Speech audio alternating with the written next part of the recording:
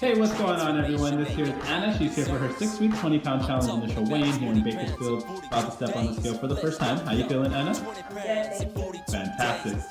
Let's go ahead and step on the scale. Let's see where we're starting off.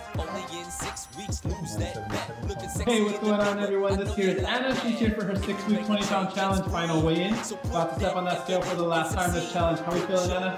Feel great. Good. Let's go ahead and step on the scale and see where we're at. You're down to 154.1 for a total of 23.8 pounds. Congratulations. Yeah, I know you want it. Get in shape, be